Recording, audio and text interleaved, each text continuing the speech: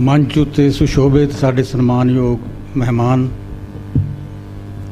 ਸਾਹਮਣੇ ਬੈਠੇ ਸਰੋਤਾਗਣੋ, ਪ੍ਰੇਮ ਨਾਲ ਮੇਰੀ ਸਤਿ ਸ੍ਰੀ ਅਕਾਲ ਕਬੂਲ ਕਰੋ।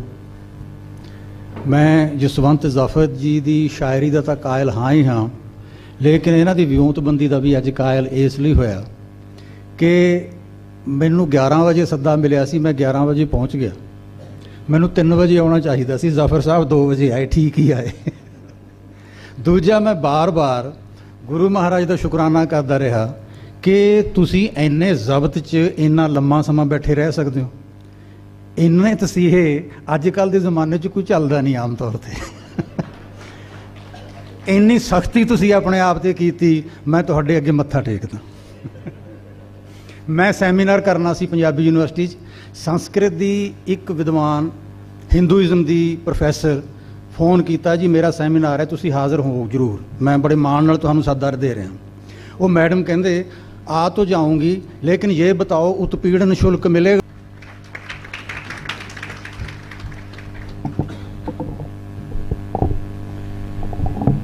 ਮੰਚ ਉੱਤੇ ਸੁਸ਼ੋਭਿਤ ਸਾਡੇ ਸਨਮਾਨਯੋਗ ਮਹਿਮਾਨ, ਸਾਹਮਣੇ ਬੈਠੇ ਸਰੋਤਾਗਣੋ ਪ੍ਰੇਮ ਨਾਲ ਮੇਰੀ ਸਤਿ ਸ੍ਰੀ ਅਕਾਲ ਕਬੂਲ ਕਰੋ। ਮੈਂ ਜਸਵੰਤ ਜ਼ਾਫਰ ਜੀ ਦੀ ਸ਼ਾਇਰੀ ਦਾ ਤਾਂ ਕਾਇਲ ਹਾਂ ਹੀ ਹਾਂ, ਲੇਕਿਨ ਇਹਨਾਂ ਦੀ ਵਿਉਂਤਬੰਦੀ ਦਾ ਵੀ ਅੱਜ ਕਾਇਲ ਇਸ ਲਈ ਹੋਇਆ ਕਿ ਮੈਨੂੰ 11 ਵਜੇ ਸੱਦਾ ਮਿਲਿਆ ਸੀ, ਮੈਂ 11 ਵਜੇ ਪਹੁੰਚ ਗਿਆ। ਮੈਨੂੰ 3 ਵਜੇ ਆਉਣਾ ਚਾਹੀਦਾ ਸੀ, ਜ਼ਾਫਰ ਸਾਹਿਬ 2 ਵਜੇ ਆਏ, ਠੀਕ ਹੀ ਆਏ। ਦੂਜਾ ਮੈਂ ਬਾਰ-ਬਾਰ ਗੁਰੂ ਮਹਾਰਾਜ ਦਾ ਸ਼ੁਕਰਾਨਾ ਕਰਦਾ ਰਿਹਾ ਕਿ ਤੁਸੀਂ ਇੰਨੇ ਜ਼ਬਤ 'ਚ ਇੰਨਾ ਲੰਮਾ ਸਮਾਂ ਬੈਠੇ ਰਹਿ ਸਕਦੇ ਹੋ? ਇੰਨੇ ਤਸੀਹੇ ਅੱਜ ਕੱਲ ਦੇ ਜ਼ਮਾਨੇ 'ਚ ਕੋਈ ਚੱਲਦਾ ਨਹੀਂ ਆਮ ਤੌਰ ਤੇ।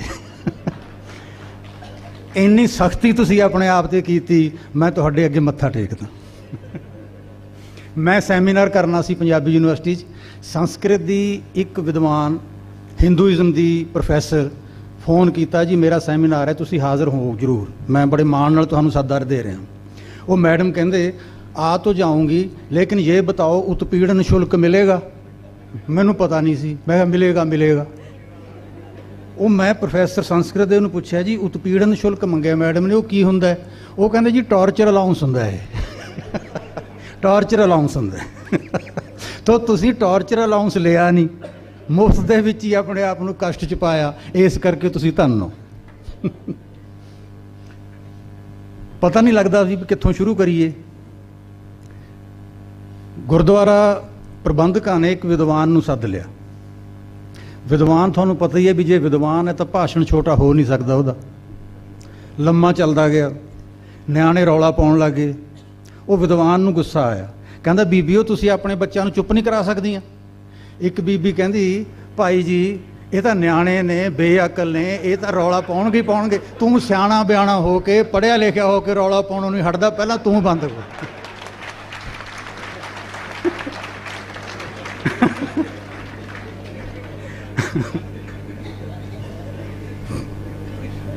ਕਵਿਤਾ ਦਾ ਮਾਹੌਲ ਬਣਿਆ ਹੈ, ਵਾਰਤਕ ਦਾ ਬਣਿਆ ਨਹੀਂ ਹੈ ਜੀ।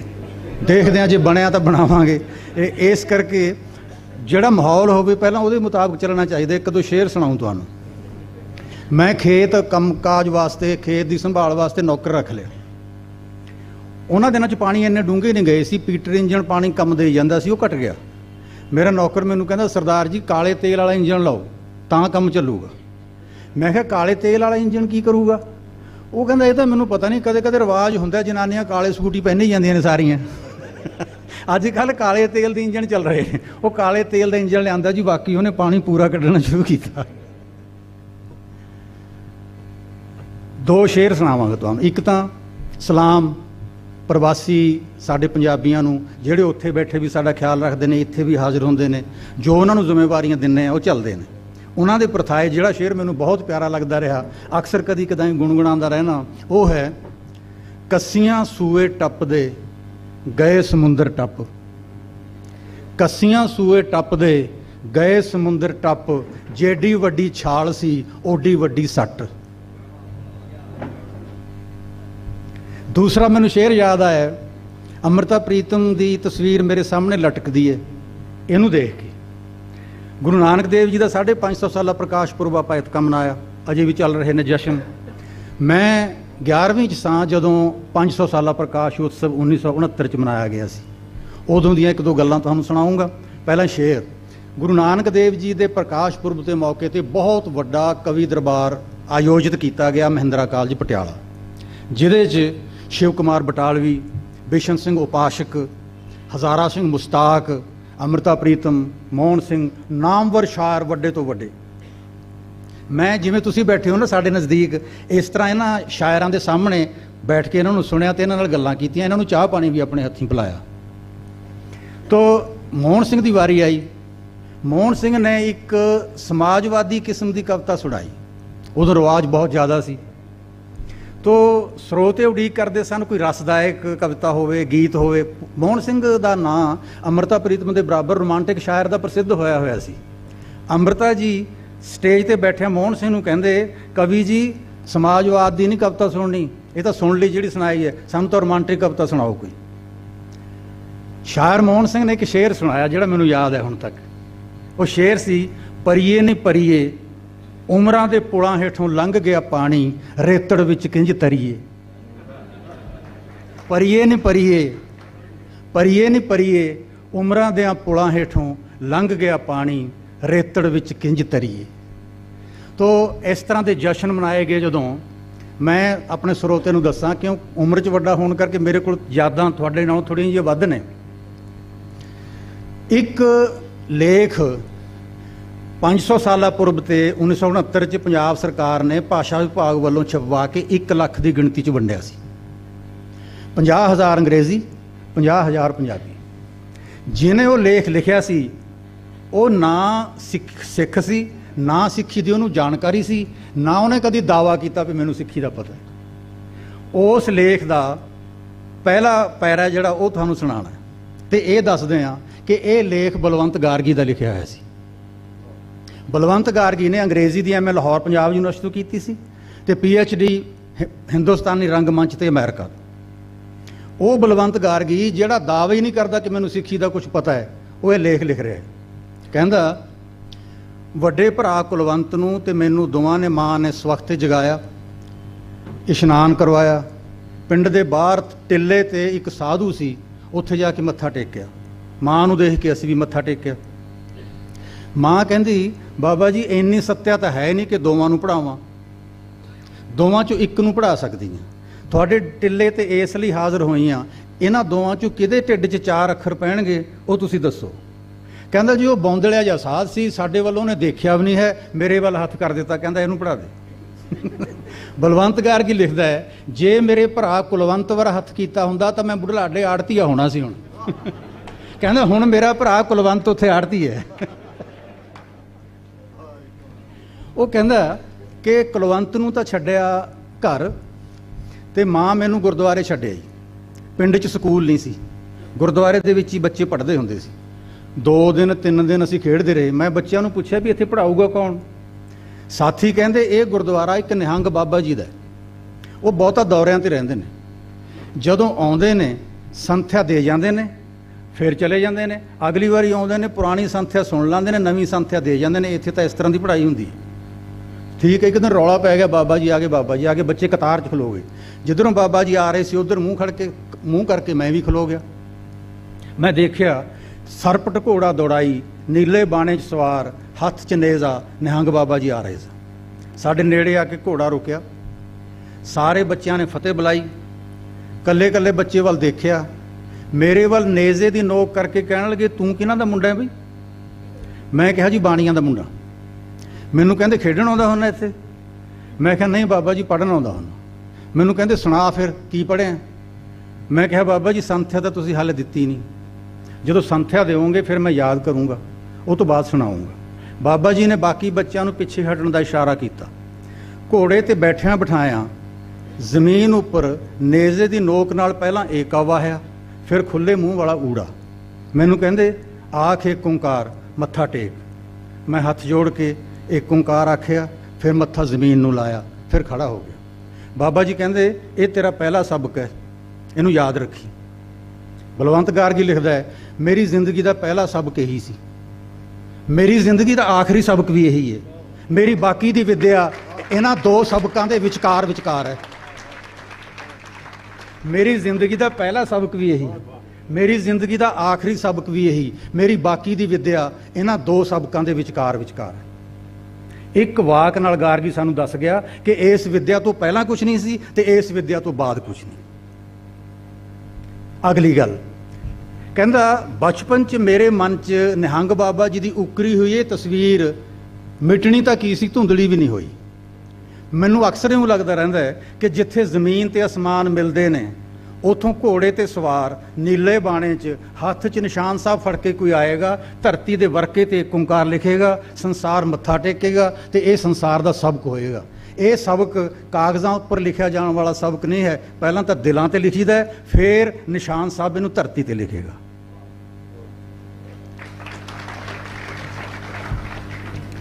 ਦੂਸਰਾ ਜਿਹੜਾ ਵਾਕਿਆ ਤੁਹਾਨੂੰ ਮੈਂ ਸੁਣਾਉਣਾ, ਕਿਉਂਕਿ ਮਾਹੌਲ ਸ਼ਾਇਰਾਨਾ ਹੈ ਨਾ, ਇਸ ਕਰਕੇ। ਆਪਾਂ ਨੂੰ ਇਸ ਗੱਲ ਦਾ ਪਤਾ ਹੈ ਕਿ ਸ਼ਾਇਰ ਬਹੁਤ ਵਧੀਆ ਸੀ ਸ਼ਿਵ ਕੁਮਾਰ ਬਟਾਲਵੀ। ਕੁਛ ਇੱਕ ਅੰਦਰ ਦੀਆਂ ਗੱਲਾਂ ਬਾਹਰ ਆਉਂਦੀਆਂ ਰਹਿੰਦੀਆਂ। ਉਹ ਕਹਿੰਦਾ ਹੁੰਦਾ ਸੀ ਕਿ ਮੇਰੇ ਮੇਜ਼ ਤੇ ਜੇ ਦਸਤਾ ਖਾਲੀ ਕਾਗਜ਼ਾਂ ਦਾ ਪਿਆ ਰਹੇ ਸਫੈਦ ਕਾਗਜ਼ਾਂ ਦਾ, ਮੈਨੂੰ ਡਰ ਲੱਗਣ ਲੱਗ ਜਾਂਦਾ ਵੀ ਮੇਰੇ ਤੋਂ ਇਹਦਾ ਮਤਲਬ ਹੁਣ ਕਵਿਤਾ ਲਿਖਣੀ ਹੋਣੀ। ਇਹਦਾ ਮਤਲਬ ਮੇਰੇ ਚੋਂ ਸਿਰਜਣਾ ਜਾਂਦੀ ਰਹੀ। ਮੈਂ ਖਾਲੀ ਕਾਗਜ਼ਾਂ ਤੋਂ ਡਰ ਜਾਂਦਾ। ਫੇਰ ਮੈਂ ਕੀ ਕਰਦਾ, ਕਾਗਜ਼ਾਂ ਦੇ ਪੁਲੰਦੇ ਦੇ ਉੱਪਰ ਖੱਬੇ ਪਾਸੇ ਸਿਖਰ ਪੈਨ ਨਾਲ ਇੱਕ ਓਂਕਾਰ ਲਿਖ ਦਿੰਦਾ ਫਿਰ ਮੈਨੂੰ ਡਰ ਲੱਗਣੋਂ ਹਟ ਜਾਂਦਾ ਕਿਉਂਕਿ ਸੰਸਾਰ ਦੀ ਸਿਰਜਣਾ ਕਦੇ ਬੰਦ ਹੋ ਹੀ ਨਹੀਂ ਸਕਦੀ। ਤੀਸਰਾ ਵਾਕਿਆ, ਗੈਰ ਸਿੱਖਾਂ ਦੇ ਵਾਕਿਆ ਸੁਣਾ ਰਿਹਾ ਅੱਜ ਤੁਹਾਨੂੰ। ਅਫਜ਼ਲ ਅਹਿਸਨ ਰੰਧਾਵਾ। ਅਫਜ਼ਲ ਅਹਿਸਨ ਰੰਧਾਵਾ ਸਵਾ 6 ਫੁੱਟ ਲੰਮਾ ਕੱਦਾਵਰ। ਪੰਜਾਬ ਹਾਈ ਕੋਰਟ ਲਾਹੌਰ ਦਾ ਨਾਮਵਰ ਵਕੀਲ। ਪੰਜਾਬੀ ਦਾ ਕਹਾਣੀਕਾਰ ਤੇ ਨਾਵਲਕਾਰ। ਉਹਦੇ ਨਾਵਲਾਂ ਦੇ ਹੀਰੋ ਸਾਰੇ ਦੇ ਸਾਰੇ ਸਿੱਖ ਤੇ ਸ਼ਾਨਦਾਰ ਸਿੱਖ। ਮੈਂ ਆਪਣੇ ਡਿਪਾਰਟਮੈਂਟ 'ਚ ਜਾ ਰਿਹਾ, ਗੁਰੂ ਗੋਬਿੰਦ ਸਿੰਘ ਭਵਨ। ਸਕੂਟਰ ਸਟੈਂਡ ਤੇ ਲਾਇਆ ਤਾਂ ਦੇਖਿਆ ਵਾਈਸ ਚਾਂਸਲਰ ਦੇ ਦਫ਼ਤਰ ਦੇ ਸਾਹਮਣੇ ਜਿਹੜਾ ਘਾਹ ਦਾ ਲਾਨ ਹੈ ਵੱਡਾ, ਉਹਦੇ ਉੱਪਰ ਰੰਧਾਵਾ ਸਾਹਿਬ ਟਹਿਲ ਰਹੇ। ਮੈਂ ਉਹਨਾਂ ਕੋਲ ਚਲਾ ਗਿਆ, ਸਲਾਮ ਅਲੈਕਮ ਰੰਧਾਵਾ ਸਾਹਿਬ। ਮੈਨੂੰ ਜੱਫੀ 'ਚ ਲੈ ਕੇ ਕਹਿੰਦੇ, ਸਤਿ ਸ੍ਰੀ ਅਕਾਲ ਭਰਾ। ਮੈਂ ਕਿਹਾ ਜੀ, ਆਹ ਮੇਰਾ ਡਿਪਾਰਟਮੈਂਟ ਹੈ, ਗੁਰੂ ਗੋਬਿੰਦ ਸਿੰਘ ਭਵਨ। ਮੈਂ ਤੁਹਾਡਾ ਪਾਠਕ ਹਾਂ। ਮੈਂ ਤੁਹਾਡੀਆਂ ਸਾਰੀਆਂ ਲਿਖਤਾਂ ਪੜ੍ਹੀਆਂ ਹੋਈਆਂ।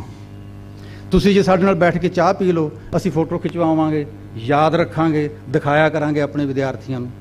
ਉਹ ਕਹਿਣ ਲੱਗੇ, ਮੈਂ ਤਾਂ ਵਿਹਲਾ ਹੀ ਆ ਕੱਲ ਕੰਮਕਾਜ ਨਿਬੇੜ ਲਏ, ਸਾਰੇ ਤਾਈਓ ਸੈਰ ਕਰਦਾ ਸੀ, ਚਲੋ ਚੱਲੀਏ। ਆ ਗਏ। ਬੈਠੇ, ਚਾਹ ਮੰਗਵਾ ਲਈ। ਮੈਂ ਪੁੱਛਿਆ ਕਿ ਤੁਸੀਂ ਸਿੱਖਾਂ ਨੂੰ ਪਿਆਰ ਕਿਵੇਂ ਕਰਨ ਲੱਗੇ ਸੀ ਤੇ ਕਦੋਂ ਕਰਨ ਲੱਗੇ ਸੀ? ਤੁਹਾਡੇ ਸਾਰੀਆਂ ਲਿਖਤਾਂ ਦੇ ਵਿੱਚੋਂ ਇਹ ਮੈਨੂੰ ਦਿਸਦਾ ਹੈ। ਉਹ ਕਹਿੰਦੇ, ਮੈਂ ਸਿੱਖਾਂ ਨੂੰ ਪਿਆਰ ਕਿਉਂ ਨਾ ਕਰਾਂ? ਮੈਂ ਸਿੱਖਾਂ। ਮੈਂ ਕਿਹਾ, ਤੁਸੀਂ ਸਿੱਖ ਕਿਵੇਂ ਹੋ? ਉਹ ਕਹਿੰਦੇ, ਤੁਸੀਂ ਜਨਮ ਸਾਖੀਆਂ ਦਾ ਪਾਠ ਕੀਤਾ ਕਦੀ? ਮੈਂ ਕਿਹਾ, ਮੇਰੇ ਜਿੰਨਾ ਪਾਠ ਨਹੀਂ ਕੀਤਾ ਹੋਣਾ ਕਿਸੇ ਨੇ ਜਨਮ ਸਾਖੀਆਂ ਦਾ। ਕੀਤਾ ਇੱਕ ਵਾਰੀ ਨਹੀਂ, ਅਨੇਕ ਵਾਰ। ਕਹਿਣ ਲੱਗੇ, ਜਨਮ ਸਾਖੀਆਂ ਦੇ ਵਿੱਚ ਮ- ਗੁਰੂ ਨਾਨਕ ਸਾਹਿਬ ਮਹਾਰਾਜ ਦੇ ਇੱਕ ਮੁਰੀਦ ਦਾ ਜ਼ਿਕਰ ਆਉਂਦਾ ਅਜਿੱਤਾ ਰੰਧਾਵਾ। ਮੈਂ ਕਿਹਾ, ਬਿਲਕੁਲ ਆਉਂਦਾ ਜੀ। ਉਹ ਕਹਿੰਦੇ ਪੱਖੋਕੇ ਦਾ ਵਸਨੀਕ ਸੀ, ਜਿਹੜੀ ਇਹ ਕਰਤਾਰਪੁਰ ਦੀ ਧਰਤੀ ਹੈ, ਮਹਾਰਾਜ ਦੇ ਚਰਨੀ ਉਹਨੇ ਲਵਾਈ ਸੀ, ਉਹ ਸਾਡਾ ਵਡੇਰਾ ਸੀ, ਮੇਰਾ ਪੜਦਾਦਾ ਸੀ ਉਹ। ਕਹਿਣ ਲੱਗੇ ਕਿ ਡੇਰਾ ਬਾਬਾ ਨਾਨਕ ਜਦੋਂ ਉਦਾਸੀਆਂ ਤੋਂ ਆਏ ਨਾ ਮਹਾਰਾਜ, ਉਦਾਸੀਆਂ ਸਮਾਪਤ ਕਰਨ ਦਾ ਐਲਾਨ ਕੀਤਾ, ਉਦਾਸੀਆਂ ਦਾ ਲਿਬਾਸ ਸਾਡੇ ਖੂਹ ਤੇ ਉਤਾਰਿਆ ਸੀ। ਸਾਡੇ ਬਾਬਾ ਜੀ ਅਜਿੱਤਾ ਰੰਧਾਵਾ ਦੁਨੀਆਦਾਰੀ ਦਾ ਲਿਬਾਸ ਲੈ ਕੇ ਆਏ ਸੀ, ਖਾਣਾ ਲੈ ਕੇ ਆਏ ਸੀ, ਮਹਾਰਾਜ ਦੇ ਚਰਨਾਂ 'ਚ ਰੱਖੀਆਂ ਸੀ ਇਹ ਭੇਟਾਂ। ਫੇਰ ਬੇਨਤੀ ਕੀਤੀ ਸੀ, ਜੀ, ਸਾਡੇ ਇਲਾਕੇ ਆਬਾਦ ਹੋ ਜਾਣਗੇ, ਤੁਸੀਂ ਇੱਥੇ ਵਸ ਜਾਓ। ਬਾਬਾ ਜੀ ਕਹਿੰਦੇ, ਤੁਹਾਡੇ ਤੇ ਬੋਝ ਬਣਾਂਗੇ। ਸਾਡੇ ਪਰਦਾਦਾ ਜੀ ਅਜਿੱਤਾ ਰੰਧਾਵਾ ਕਹਿੰਦੇ, ਬੋਝ ਨਹੀਂ ਮਹਾਰਾਜ, ਤੁਹਾਡੇ ਚਰਨਾਂ ਦੀ ਛੋ ਸਦਕਾ ਸਾਡੇ ਵੀਰਾਨ ਖੇਤ ਆਬਾਦ ਹੋ ਜਾਣਗੇ। ਅਸੀਂ ਕਿਸੇ ਤੇ ਆਸਾਨ ਨਹੀਂ ਕਰਦੇ, ਅਸੀਂ ਆਪਣੇ ਆਪ ਨੂੰ ਪਾਲ ਰਹੇ ਹਾਂ। ਤੋ ਅਜਿੱਤਾ ਰੰਧਾਵਾ ਜਿਨ੍ਹਾਂ ਦਾ ਵਡੇਰਾ ਸੀ, ਅਫਜ਼ਲ ਹਸਨ ਰੰਧਾਵਾ ਕਹਿੰਦੇ, ਫਿਰ ਮੈਂ ਕਿਉਂ ਨਾ ਮਾਣ ਕਰਾਂ ਆਪਣੇ ਮੁਰਸ਼ਿਦਾਂ ਤੇ ਤੇ ਕਿਉਂ ਨਾ ਪਿਆਰ ਕਰਾਂ ਸਿੱਖਾਂ ਨੂੰ? ਬਸ ਇੱਕ ਦੋ ਗੱਲਾਂ ਤੁਹਾਡੇ ਨਾਲ ਹੋਰ ਕਰਨੀਆਂ ਨੇ। ਅੱਜ ਅੱਜ ਸਮਾਂ ਨਹੀਂ। ਕਿਤੇ ਇੱਕ ਘੰਟਾ ਮੈਨੂੰ ਮਿਲੇਗਾ ਨਾ, ਫਿਰ ਤੁਹਾਡੇ ਨਾਲ ਗੱਲਾਂ ਬਹੁਤ ਲੰਮੀਆਂ ਵਿਸਥਾਰ ਨਾਲ ਕਰਾਂਗੇ। ਬਸ ਮੈਨੂੰ ਇਹ ਆਖਿਆ ਸੀ ਪ੍ਰਬੰਧਕਾਂ ਨੇ ਕਿ ਪੰਜਾਬੀ ਦੀ ਵੀ ਕਦੀ ਗੱਲ ਕਰ ਲਿਓ। ਉਹ ਹੁਣ ਦੇਖੋ ਤੁਸੀਂ, ਇਹ ਕਹਿੰਦੇ ਵੀ ਪੰਜਾਬੀ ਨੂੰ ਲੋਕ ਛੱਡਦੇ ਜਾਂਦੇ ਨੇ, ਅੰਗਰੇਜ਼ੀ ਫੜਦੇ ਜਾਂਦੇ ਨੇ, ਤੇ ਆਪਾਂ ਕੀ ਕਰੀਏ ਆਪਾਂ ਪੰਜਾਬੀ? ਐ ਨਹੀਂ, ਉਪਦੇਸ਼ ਦੇਣ ਨਾਲ ਪੰਜਾਬੀ ਨਹੀਂ ਕਿਸੇ ਨੇ ਫੜਨੀ। ਪੰਜਾਬੀ ਜਦੋਂ ਰੋਜ਼ਗਾਰ ਦੀ ਬੋਲੀ ਬਣੇਗੀ ਨਾ, ਉਦੋਂ ਆਪਾਂ ਬਿਨਾਂ ਕਿਸੇ ਤੋਂ ਪੁੱਛੇ ਦੱਸੇ ਪੰਜਾਬੀ ਪੜਨ ਲੱਗ ਜਾਾਂਗੇ। ਤੁਸੀਂ ਦੇਖੋ ਤਾਂ ਅਸੀਂ ਜਨਮ ਸਾਖੀ 'ਚ ਆਪਾਂ ਨੂੰ ਕੀ ਪਤਾ ਲੱਗਦਾ ਭਲਾ? ਪਿਤਾ ਮਹਿਤਾ ਕਲਿਆਣ ਰਾਏ ਨੇ ਪਹਿਲੋਂ ਦੇਵਨਾਗਰੀ ਸਿਖਾਉਣ ਵਾਸਤੇ ਪੰਡਤ ਜੀ ਕੋਲ ਭੇਜੇ ਮਹਾਰਾਜ। ਉਹਦੇ ਤੋਂ ਬਾਅਦ ਮੌਲਵੀ ਕੋਲ ਫਾਰਸੀ ਸਿੱਖਣ। ਉਹਨਾਂ ਜ਼ਮਾਨਿਆਂ 'ਚ 550 500 ਸਾਲ ਪਹਿਲੋਂ ਸਰਕਾਰੀ ਨੌਕਰੀ ਲੈਣ ਲਈ ਇਹ ਦੋ ਜ਼ਬਾਨਾਂ ਦੀ ਜਾਣਕਾਰੀ ਜ਼ਰੂਰੀ ਸੀ। ਪਿਤਾ ਆਪਣੇ ਬੇਟੇ ਨੂੰ ਰੋਜ਼ਗਾਰ, ਅੱਛਾ ਰੋਜ਼ਗਾਰ ਦਿਵਾਉਣ ਦੇ ਇੱਛੁਕ ਸਨ। ਜੇ ਪੰਜਾਬੀ ਪੜ੍ਹਨ ਨਾਲ ਮਿਲਦਾ ਹੁੰਦਾ ਰੋਜ਼ਗਾਰ ਤਾਂ ਪੰਜਾਬੀ ਸਿਖਾ ਦਿੰਦੇ। ਇਹ ਤਾਂ ਸਨ ਪਿਤਾ ਦਾ, ਪਿਤਾ ਦੀ, ਦੇ ਸੁਪਨੇ ਲੇਕਿਨ ਜਿਹੜੀ ਗੱਲ ਮੈਨੂੰ ਅਜੀਬ ਲੱਗਦੀ ਹੈ ਤੁਹਾਨੂੰ ਵੀ ਸ਼ਾਇਦ ਲੱਗੇ, ਕਿ ਗੁਰੂ ਨਾਨਕ ਦੇਵ ਜੀ ਏਸ਼ੀਆ ਦਾ ਭਰਮਣ ਕਰਦੇ ਰਹੇ। 25000 ਕਿਲੋਮੀਟਰ ਪਲੱਸ ਹੈ ਉਹਨਾਂ ਦਾ ਦੌਰਾ। ਜਿਨ੍ਹਾਂ ਲੋਕਾਂ ਨੂੰ ਪਿੰਡਾਂ 'ਚ, ਸ਼ਹਿਰਾਂ 'ਚ ਮਿਲੇ, ਜ਼ਿੰਦਗੀ 'ਚ ਪਹਿਲੀ ਵਾਰੀ ਮਿਲੇ ਸੀ ਤੇ ਜ਼ਿੰਦਗੀ 'ਚ ਆਖਰੀ ਵਾਰੀ ਮਿਲੇ ਸੀ। ਪਹਿਲੀ ਵਾਰੀ ਤੇ ਆਖਰੀ ਵਾਰ। ਉਹਨਾਂ ਜਿੰਨੀਆਂ ਯਾਤਰਾਵਾਂ ਪਿਛਲੇਰੇ ਗੁਰੂ ਸਾਹਿਬਾਨ ਨਹੀਂ ਕਰ ਪਾਏ, ਲੇਕਿਨ ਨੌਵੇਂ ਪਾਤਸ਼ਾਹ ਬੰਗਾਲ ਤੇ ਬਿਹਾਰ ਤੱਕ, ਬੰਗਾਲ ਤੇ ਅਸਾਮ ਤੱਕ ਗਏ ਸਨ। ਉਹਨਾਂ ਦਾ ਰੂਟ ਉਹੀ ਸੀ ਜਿਹੜਾ ਪਹਿਲੀ ਪਾਤਸ਼ਾਹੀ ਦਾ ਰੂਟ ਸੀ। 200 ਸਾਲ ਬਾਅਦ ਜਿੱਥੇ ਕਿਤੇ ਸੰਗਤ ਮਿਲਣਾ ਦੀ ਮੱਥਾ ਟੇਕਦੀ ਤੇ ਇਤਰਾਜ਼ ਇਹ ਕਰਦੀ, ਮਹਾਰਾਜ ਇੰਨੀ ਦੇਰ ਬਾਅਦ ਦੀਦਾਰ ਹੋਏ। 200 ਸਾਲ ਬਾਅਦ 10 ਪੀੜ੍ਹੀਆਂ ਬਦਲ ਜਾਂਦੀਆਂ ਨੇ। ਕੀ ਦਿੱਤਾ ਸੀ ਗੁਰੂ ਨਾਨਕ ਦੇਵ ਜੀ ਨੇ ਲੋਕਾਂ ਨੂੰ? ਪੈਸੇ ਕਿ ਫੁਲਕੇ ਪ੍ਰਸ਼ਾਦੇ? ਖਾਲੀ ਹੱਥ ਗਏ ਸੀ। ਹਿੰਦੁਸਤਾਨ ਇਉਂ ਮਾਯੂਸ ਬੈਠਾ ਸੀ ਕਿ ਸਾਡਾ ਤਾਂ ਹੁਣ ਕੁਝ ਸੰਵਰ ਹੀ ਨਹੀਂ ਸਕਦਾ। ਹਰੇਕ ਨੂੰ ਮਿਲ ਮਿਲ ਕੇ ਮਹਾਰਾਜ ਨੇ ਕਿਹਾ ਸੀ, ਤੁਹਾਡਾ ਕੁਝ ਵਿਗੜ ਹੀ ਨਹੀਂ ਸਕਦਾ। ਭਰੋਸਾ ਦਿੱਤਾ ਸੀ। ਭਰੋਸੇ ਤੋਂ ਇਲਾਵਾ ਕੁਝ ਨਹੀਂ ਦਿੱਤਾ ਸੀ। ਇਹ ਕਿਹਾ ਸੀ ਕਿ ਤੁਸੀਂ ਨਿਰਭਉ ਤੇ ਨਿਰਵੈਰ ਦੇ ਬੱਚੇ ਹੋ। ਸੰਸਾਰ 'ਚ ਤੁਹਾਡਾ ਕੋਈ ਨਹੀਂ ਕੁਝ ਵਿਗਾੜ ਸਕਦਾ। ਇਸੇ ਕਰਕੇ ਆਪਾਂ ਪੰਜ ਪਿਆਰੇ ਵੀ ਦੇਖਦੇ ਹਾਂ। ਜਿਨ੍ਹਾਂ ਜਿਨ੍ਹਾਂ ਥਾਵਾਂ ਦੀ ਚਰਨ ਛੋ ਪ੍ਰਾਪਤ ਸੀ ਗੁਰੂ ਨਾਨਕ ਦੇਵ ਜੀ ਦੀ, ਜਿਨ੍ਹਾਂ ਥਾਵਾਂ ਤੋਂ ਉਹਨਾਂ ਉਹਨਾਂ ਥਾਵਾਂ ਤੋਂ ਹੀ ਪੰਜ ਪਿਆਰੇ ਆਏ ਸੀ। ਇਸੇ ਕਰਕੇ ਗੋਕਲ ਚੰਨਾ ਰੰਗ ਦਾ ਇਹ ਕਥਨ ਬਹੁਤ ਮੁੱਲਵਾਨ ਹੈ ਕਿ ਉਹ ਫੌਲਾਦ ਜਿਹੜਾ ਗੁਰੂ ਨਾਨਕ ਦੇਵ ਜੀ ਨੇ ਜ਼ਮੀਨ ਤੋਂ ਕੱਢਿਆ ਸੀ, ਉਸੇ ਦੀ ਕਿਰਪਾਨ ਬਣਾਈ ਸੀ ਗੁਰੂ ਗੋਬਿੰਦ ਸਿੰਘ ਜੀ ਨੇ। ਫੌਲਾਦ ਉਹੀ ਸੀ, ਤੱਤ ਉਹੀ ਸੀ, ਉਹਨੂੰ ਢਾਲ ਦਿੱਤਾ, ਉਹਨੂੰ ਸ਼ੇਪ ਦੇ ਦਿੱਤੀ। ਜਿਹੜੀ ਗੱਲ ਇੰਪੋਰਟੈਂਟ ਮੈਂ ਆਪਣੇ ਵਿਦਿਆਰਥੀਆਂ ਨੂੰ ਤਾਂ ਦੱਸਦਾ ਹੀ ਹੁੰਨਾ, ਅੱਜ ਦੀ ਇਹ ਸੰਗਤ ਨੂੰ ਵੀ ਦੱਸਣਾ ਮੁਨਾਸਿਬ ਸਮਝਦਾ ਵੀ ਗੁਰੂ ਨਾਨਕ ਦੇਵ ਜੀ ਨੇ ਇੰਨੇ ਲੰਮੇ ਸਫ਼ਰ 'ਚ ਨਾ ਆਪ ਖਾਣ ਪੀਣ ਦੀ ਚੀਜ਼ ਕੋਈ ਚੁੱਕੀ ਸੀ, ਨਾ ਪੈਸਾ ਚੁੱਕਿਆ ਸੀ, ਨਾ ਭਾਈ ਮਰਦਾਨਾ ਜੀ ਨੂੰ ਚੁੱਕਣ ਦਿੱਤਾ ਸੀ। ਜਿਹੜੀ ਚੀਜ਼ ਉਹਨਾਂ ਨੇ ਕਦੋਂ, ਕਦੇ ਆਪਣੇ ਕੋਲੋਂ ਵੱਖ ਨਹੀਂ ਕੀਤੀ, ਆਪਣੇ ਤੋਂ ਦੂਰ ਨਹੀਂ ਕੀਤੀ। ਉਹ ਸੀ ਕਲਮ ਦਵਾਤ ਤੇ ਨੋਟਬੁੱਕ। ਮੁਸਲਮਾਨ ਫਖਰ ਨਾਲ ਆਪਣੇ ਆਪ ਨੂੰ ਆਖਦੇ ਨੇ, ਅਸੀਂ ਅਹਲੇ ਕਿਤਾਬ ਹਾਂ ਅਹਲੇ ਕਿਤਾਬ, ਉਹ ਲੋਕ ਜਿਨ੍ਹਾਂ ਦਾ ਜਨਮ ਕਿਤਾਬ 'ਚ ਹੋਇਆ। ਉਹਨਾਂ ਤੋਂ ਬਾਅਦ ਗੁਰੂ ਨਾਨਕ ਦੇਵ ਜੀ ਨੇ ਸਾਨੂੰ ਕਿਤਾਬ 'ਚੋਂ ਜਨਮ ਦਿੱਤਾ। ਕਲਮ ਦਵਾਤ ਤੇ ਨੋਟਬੁੱਕ। ਮੈਂ ਵਿਦਿਆਰਥੀਆਂ ਨੂੰ ਕਹਿੰਦਾ ਹੁੰਨਾ ਕਿ ਜਿਸ ਵਿਦਿਆਰਥੀ ਦੇ ਹੱਥ 'ਚ ਨੋਟਬੁੱਕ ਨਾ ਹੋਈ ਤੇ ਜੇਬ 'ਚ ਪੈਨ ਨਾ ਹੋਇਆ, ਮੈਂ ਹੁਣ ਤੁਹਾਨੂੰ ਝਿੜਕ ਤਾਂ ਸਕਦਾ ਨਹੀਂ। ਸਜ਼ਾ ਤਾਂ ਦੇ ਨਹੀਂ ਸਕਦਾ। ਇੰਨੀ ਗੱਲ ਆ ਸਕਦਾ ਵੀ ਗੁਰੂ ਨਾਨਕ ਦੇਵ ਜੀ ਤੁਹਾਡੇ ਤੇ ਖੁਸ਼ ਨਹੀਂ ਹੋਣਗੇ। ਉਹਨਾਂ ਨੂੰ ਸੰਸਾਰ 'ਚ ਕਲਮ ਦਵਾ ਤੇ ਕਾਪੀ ਚੰਗੀ ਲੱਗੀ ਸੀ ਕੇਵਲ। ਦੂਸਰੀ ਗੱਲ, ਕਿਹੋ ਜਿਹੇ ਸਨ ਉਹ ਸਮੇਂ ਤੇ ਕਿਹੋ ਜਿਹੇ ਸਨ ਸਾਡੇ ਮਹਾਪੁਰਖ? ਦੋ ਵਾਕ ਸੁਣਾਣਾ ਸਿਰਫ। ਭਾਈ ਮਰਦਾਨਾ ਜੀ ਬਾਰੇ, ਆਪਸ ਦੇ ਵਿੱਚ ਪ੍ਰੇਮ ਕੀ ਸੀ, ਸੰਬੰਧ ਕੀ ਸਨ? ਇੱਕ ਵਿਦਿਆ ਬਾਰੇ। ਬਸ ਦੋ ਦੋ ਵਾਕ ਸੁਣਾ ਕੇ ਖਿਮਾ। ਪਹਿਲਾ ਸਾਖੀਕਾਰ ਲਿਖਦਾ ਜਦੋਂ ਬਾਬਾ ਬੰਦਗੀ ਕਰਨ ਲੱਗਦਾ, ਪੰਜ ਕਰਮ ਦੂਰ ਖਲੋ ਕੇ ਮਰਦਾਨਾ ਸਖਤ ਪਹਿਰਾ ਦਿੰਦਾ, ਤਾਂ ਕਿ ਕੋਈ ਪਸ਼ੂ, ਪੰਛੀ ਜਾਂ ਮਨੁੱਖ ਤਿਨਾਂ ਦੀ ਬੰਦਗੀ ਵਿੱਚ ਵਿਘਨ ਨਾ ਪਾਏ। ਔਰ ਜਦ ਬਾਬਾ ਗਾਉਣ ਲੱਗਦਾ, ਉਠਾਏ ਕੇ ਰਬਾਬ, ਇੰਨਾ ਨਜ਼ਦੀਕ ਆ ਕੇ ਬੈਠਦਾ ਕਿ ਗੋਡੇ ਨਾਲ ਗੋਡਾ ਖਹਿੰਦਾ। ਜ਼ਫਰ ਸਾਹਿਬ, ਹੈ ਨਾ ਸ਼ਾਇਰੀ? ਕੋਈ ਕਿਤਾਬ ਹਜ਼ਾਰ ਪੰਨਿਆਂ ਦੀ ਇਸ ਤਰ੍ਹਾਂ ਦਾ ਸੰਬੰਧ ਚਿੱਤਰ ਸਕਦੀ ਹੈ ਜਦ ਬਾਬਾ ਬੰਦਗੀ ਕਰਨ ਲੱਗਦਾ, ਪੰਜ ਕਰਮ ਦੂਰ ਖਲੋ ਕੇ ਭਾਈ ਮਰਦਾਨਾ ਸਖਤ ਪਹਿਰਾ ਦਿੰਦਾ, ਤਾਂ ਕਿ ਕੋਈ ਪਸ਼ੂ ਪੰਛੀ ਜਾਂ ਮਨੁੱਖ ਤਿਨਾਂ ਦੀ ਬੰਦਗੀ ਵਿੱਚ ਵਿਘਨ ਨਾ ਪਾਏ। ਔਰ ਜਦ ਬਾਬਾ ਗਾਉਣ ਲੱਗਦਾ, ਉਠਾਏ ਕੇ ਰਬਾਬ, ਇੰਨਾ ਨਜ਼ਦੀਕ ਆ ਕੇ ਬੈਠਦਾ ਕਿ ਗੋਡੇ ਨਾਲ ਗੋਡਾ ਖੈਂਦਾ ਅਗਲਾ ਅਗਲਾ ਵਾਕ। ਇੱਕ ਦਿਨ, ਆਮ ਇਹ ਹੁੰਦਾ ਸੀ ਕਿ ਮਹਾਰਾਜ ਗਾਇਨ ਕਰਦੇ ਤੇ ਸਾਥ ਵਾਦਨ ਰਬਾਬ ਦਾ ਭਾਈ ਮਰਦਾਨਾ ਜੀ ਦਿੰਦੇ। ਇੱਕ ਦਿਨ ਉਲਟ ਹੋਇਆ। ਭਾਈ ਮਰਦਾਨਾ ਜੀ ਆਪਣੇ ਕੋਲੋਂ ਕੁਝ ਬੰਦ ਜੋੜ ਕੇ ਆਪ ਹੀ ਗਾਉਣ ਲੱਗੇ ਉਹ ਬੰਦ ਸਾਖੀ 'ਚ ਲਿਖੇ ਹੋਏ ਨੇ, ਇੱਕੇ ਤਾਂ ਪੁੱਤਰ ਕਾਲੂਆਨ ਜਿਨ ਸਿਰੀ ਫੁਨ ਤਿਸ ਹੀ ਗੋਈ। ਪਿਤਾ ਕਲਿਆਣ ਰਾਏ ਦਾ ਬੇਟਾ ਇੱਕ, ਜਿਨੇ ਸ੍ਰਿਸ਼ਟੀ ਦੀ ਰਚਨਾ ਕੀਤੀ ਸੀ। ਅੱਜ ਉਸ ਰਚਨਾ ਦਾ ਪੇੜਾ ਆਪਣੇ ਹੱਥਾਂ ਵਿੱਚ ਲੈ ਕੇ ਦੁਬਾਰਾ ਗੁੰਨਣ ਲੱਗ ਗਿਆ। ਰਚਨਾ ਦਾ ਪੇੜਾ ਆਪਣੇ ਹੱਥਾਂ 'ਚ ਲੈ ਕੇ ਦੁਬਾਰਾ ਗੁੰਨਣਾ ਸ਼ੁਰੂ ਕਰ ਦਿੱਤਾ। ਬਾਬੇ ਕਹਿਆ, ਨਾ ਭਾਈ ਮੈਂ ਤਾਂ ਤੁਸਾਂ ਦੇ ਤਲਵੰਡੀ ਪਿੰਡ ਦੇ ਬੇਦੀਆਂ ਦਾ ਅਵਾਰਾ ਛੋਕ ਰਹਾ ਜਿਸ ਦੀ ਕਿਤੇ ਸੁਣਵਾਈ ਨਹੀਂ। ਮਰਦਾਨੇ ਕਹਿਆ, ਇੱਕੇ ਤਾਂ ਪੁੱਤਰ ਕਾਲੂਆਨ, ਜਿਨ ਸ੍ਰੀ ਫੁਨ ਤਿਸਹੀ ਗੋਈ, ਤੁਧ ਜੇਵੜ ਪਰਮੇਸ਼ਰ ਹੋਏ ਤਾਂ ਹੋਈ। ਪਰਮੇਸ਼ਰ ਹੋ ਸਕਦਾ ਤੁਹਾਡੇ ਜਿਹੜਾ ਹੋਰ ਤੁਹਾਡੇ ਜਿਹੜਾ ਸੰਸਾਰ 'ਚ ਕੋਈ ਨਹੀਂ। ਬਾਬੇ ਕਹਿਆ, ਬਸ ਭਾਈ, ਬਸ, ਏਦੂ ਅੱਗੇ ਨਹੀਂ ਚਲਾਵਣਾ, ਹੋਰ ਅੱਖਰ ਕੋਈ। ਕਿਆ ਬਾਤ ਹੈ, ਤੋਪ ਚਲਦੀ, ਤੀਰ ਚੱਲਦਾ, ਤਲਵਾਰ ਚੱਲਦਾ ਹਥਿਆਰ ਚੱਲਦੇ ਸੁਣੇ ਸੀ ਆਪਾਂ, ਏਦੂ ਅੱਗੇ ਨਹੀਂ ਚਲਾਵਣਾ ਹੋਰ ਅੱਖਰ ਕੋਈ। ਇਹ ਅੱਖਰ ਚਲਾਏ ਨੇ ਮਹਾਰਾਜ ਨੇ। ਉਹ ਅੱਖਰ ਜਿਹੜੇ ਚਲਾਏ ਸਨ ਉਹਨਾਂ ਨੇ, ਉਹ ਸਾਡੇ ਦਿਲਾਂ ਤੇ ਉਕਰੇ ਪਏ, ਉਕਰੇ ਰਹਿਣਗੇ। ਤੁਹਾਡੇ ਸਾਰਿਆਂ ਉੱਪਰ ਉਕਰ ਸਾਰਿਆਂ ਦੇ ਦਿਲਾਂ ਤੇ ਉਕਰੇ ਰਹਿਣ, ਮੈਨੂੰ ਪ੍ਰਬੰਧਕਾਂ ਨੇ ਯਾਦ ਕੀਤਾ, ਜਦੋਂ ਕਿ ਮੈਂ ਇਹਨਾਂ ਚੋਂ ਕਿਸੇ ਨੂੰ ਜਾਣਦਾ ਨਹੀਂ ਹਾਂ। ਫਿਰ ਵੀ ਇਹਨਾਂ ਨੇ ਮੇਰੇ ਤੇ ਕਿਰਪਾ ਕੀਤੀ, ਇੱਥੇ ਤੁਹਾਡੇ ਨਾਲ ਮਿਲਣ ਦਾ ਮੌਕਾ ਮਿਲਿਆ। ਮੈਂ ਸਾਰਿਆਂ ਦਾ ਬਹੁਤ ਬਹੁਤ ਸ਼ੁਕਰਗੁਜ਼ਾਰ, ਬਹੁਤ ਮਿਹਰਬਾਨੀ। ਗੁਰੂ ਮਹਾਰਾਜ ਤੁਹਾਡੇ ਤੇ ਹਮੇਸ਼ ਮਿਹਰਬਾਨ ਰਹਿਣ। ਵਾਹਿਗੁਰੂ ਜੀ ਕਾ ਖਾਲਸਾ, ਵਾਹਿਗੁਰੂ ਜੀ